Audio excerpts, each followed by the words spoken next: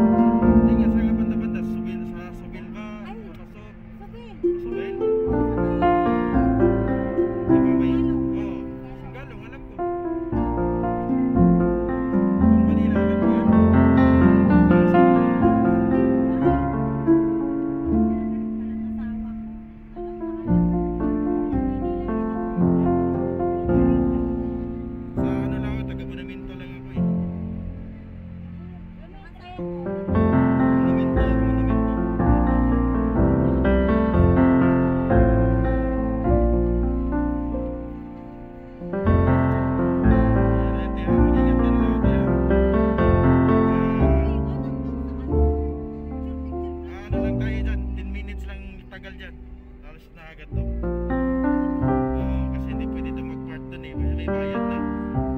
Hmm.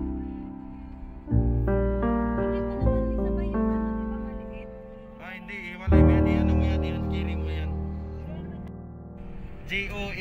Das 15 number. No space.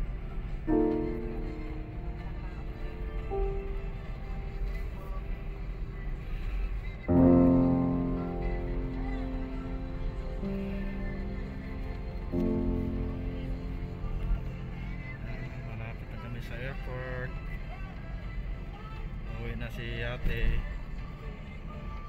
Makakasama na ang kanyang pamilya ngayong Pasko. Ayun na po ang airport ng Amman, Jordan. Wakas, makakasama na ang kanyang pamilya.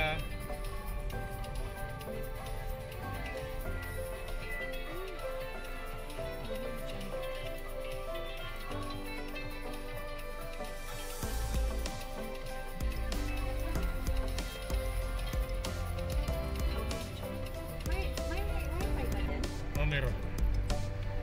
Brother, you have uh, 10 minutes, huh? There, Ja, ik there, ben 10 minutes. vanaf laat ik wat Go, go.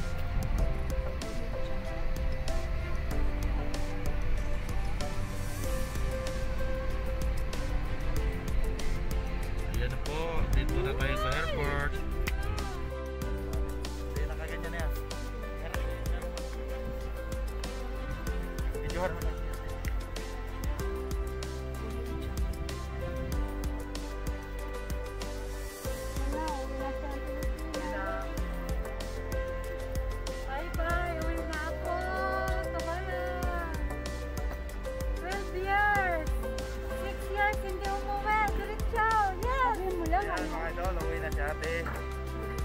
12 years siya sa amo niya. Tapos 6 years, diretso. Hindi siya nakauwi ng Pilipinas. Ako naman, may isang dekada, hindi ako nakauwi ng Pilipinas. Ang luggage niya, oh.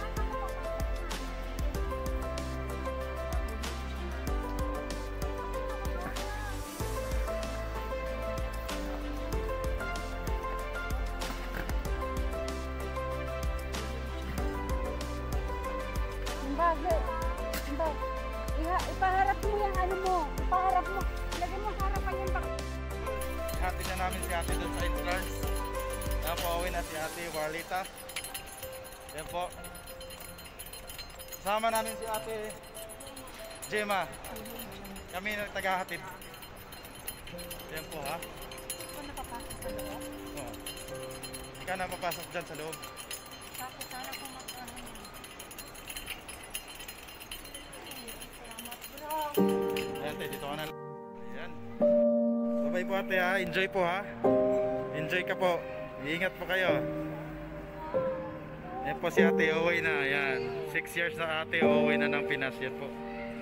Si ate. Ingat ka ate. Bye. Oo. Chat-chat mo na lang kami ha.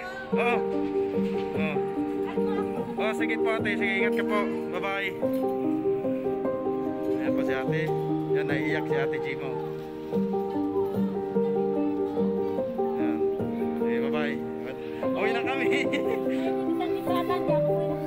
Ayan, si ate. Si ate na naman yung uwi next year.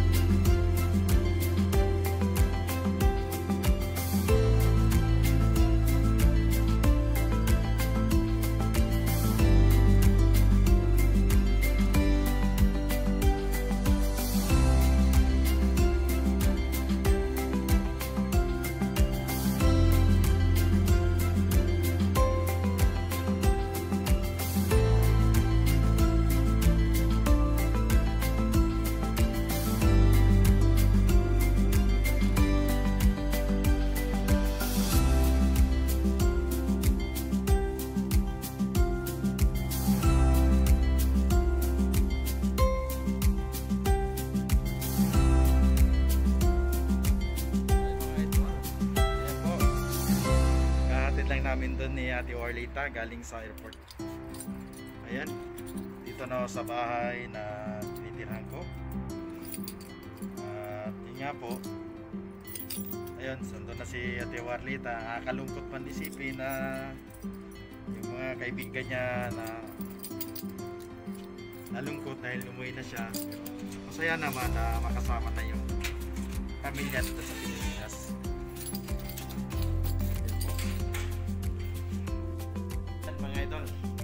Na ako sa bahay. Oh. Yan. Saglit lang, malapit lang kasing airport dito.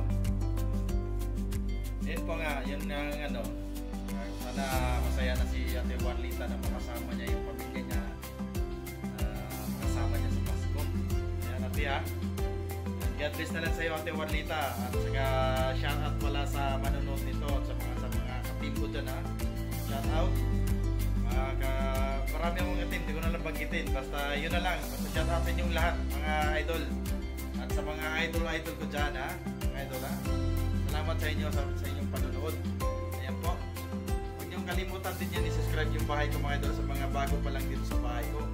Puntahan niyo rin ako mga idol ha. Kalimpang na lang ako. Ayan po, God bless and Merry Christmas sa inyong lahat.